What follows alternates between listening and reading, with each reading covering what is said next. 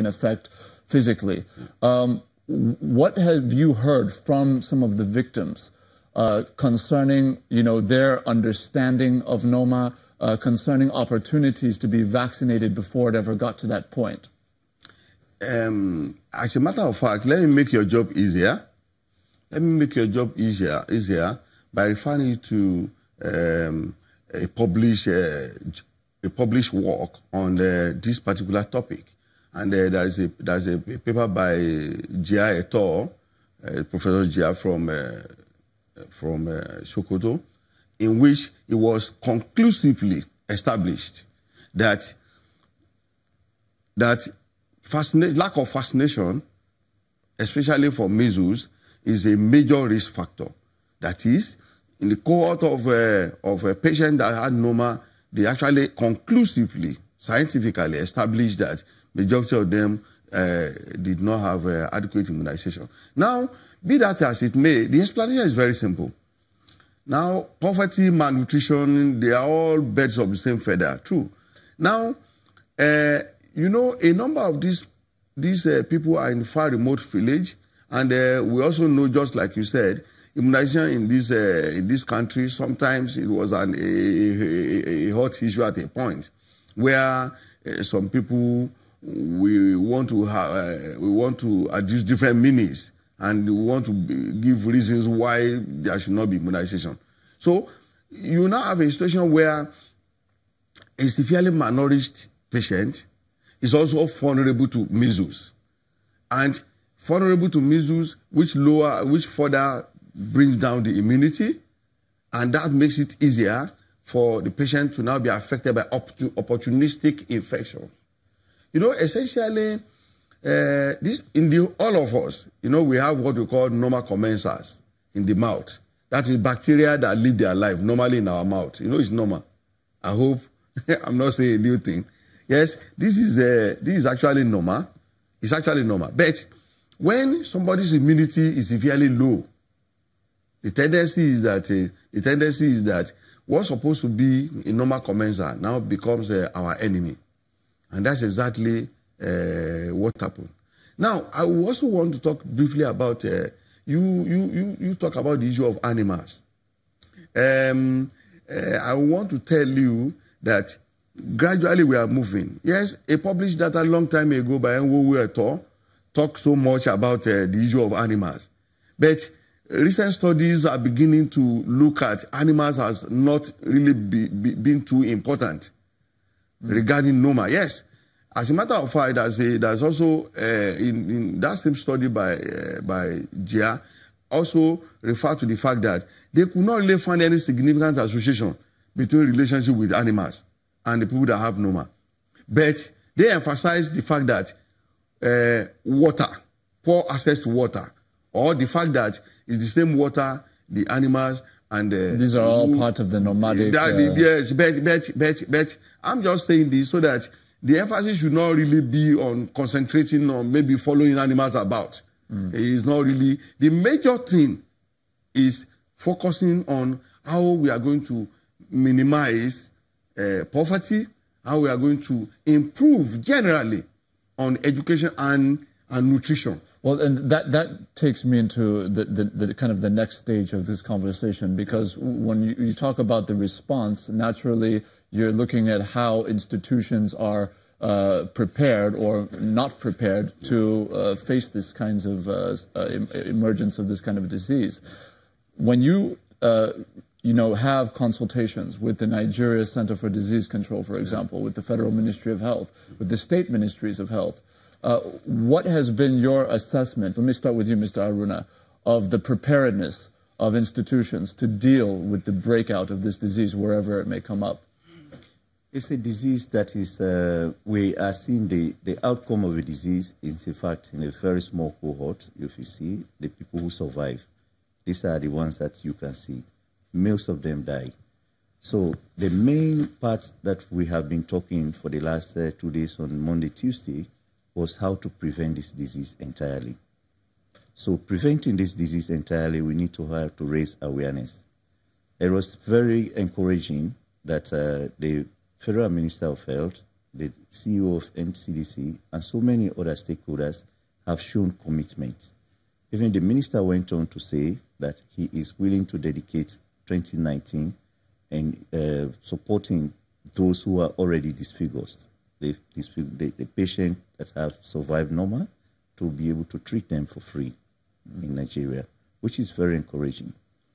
The area of awareness and really finding data because we still need to know how many people are affected by this disease in approximate term that we can be able to strategize on how to uh, uh, provide care for them. We see them in different uh, sporadic forms. So there have been some interesting uh, engagement and willingness from uh, stakeholders in the past two days. So we, we are looking forward to those commitments in order to be able to put together uh, resources to fight this disease. While the commitment may be there today, I, I, I want to kind of get to the issue of whether or not there are loopholes or shortfalls in terms of synergy, in terms of uh, will, uh, in terms of funding, for example. Uh, what are some of the things you've seen, Dr. Bello, factors, institutional factors, uh, that may or may not help uh, the stop of the spread of this deadly disease? Incidentally, you've actually summarized it you have summarized it. And uh, the, the conference we had in the past two days, uh, we seriously have to commend the MSF and Federal Ministry of Health for organizing this uh, conference. It was, uh, it was indeed, it was indeed uh, an eye, eye opener for so many segments of the society. For instance, you talk about uh, NCDC. NCDC, they were fully part of the part of the program, and the CEO was there for the two days, and they realized that part of the first thing that needs to be done is surveillance. We all of us in the conference agree that we don't have we don't have reliable data to even work with, and uh, the minister of uh, the minister of health, the minister of state for health, they were all there for the two days, and they also alluded to this fact. So, in terms of surveillance, in terms of working on the on the data, we all agree it's very important. Now, the the the organizer also succeeded in bringing specialists from all over Nigeria to brainstorm. We had a lot of papers, scientific papers that were presented. What everybody is doing from different parts of Nigeria were presented. Ordinarily, uh, one we think somewhere like uh, Enugu, you know, you shouldn't be talking about Noma. Then we have uh, professors that presented from uh, Enugu with some cases. We have some cases presented from Benin. So, in terms of uh, then, then all the head of dental services of, of the states of the federation were in attendance, because this is a this is a this is a, is a disease of the mouth primarily. So since it starts from the mouth before it now spreads to the parts of the face, it means that all the dentists in Nigeria have to be on the same page with the with the with the with the with the with the family uh, with policy form, formulators. So they were all part of it. Now, when it now now comes to when it comes to the management of uh, the survivors with facial deformities, um, I, I, I, I believe that is probably an area that uh, we've not really been, uh, maybe there's no enough provision or maybe little provision. Now, we've realized, the, the, the minister said, who has committed himself that next year is actually going to be dedicated to Noma. Well, so, I, I, think that's a, a, fine place to leave it. We have run out of time. Yeah. Certainly, I want to thank both of you gentlemen for sharing your insights and expertise uh, concerning this important issue.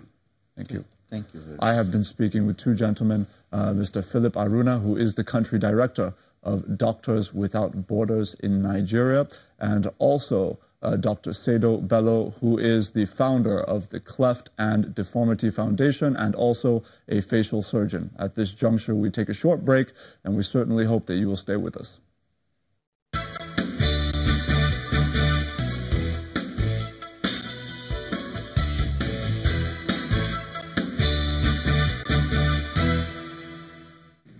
Welcome back. Well, we'll have uh, just a couple of tweets uh, that came through on the question of community policing, as we did focus on earlier on the program. We've got this one from Ikonsa, who's saying it's about building trust, relationships, and winning the confidence of community.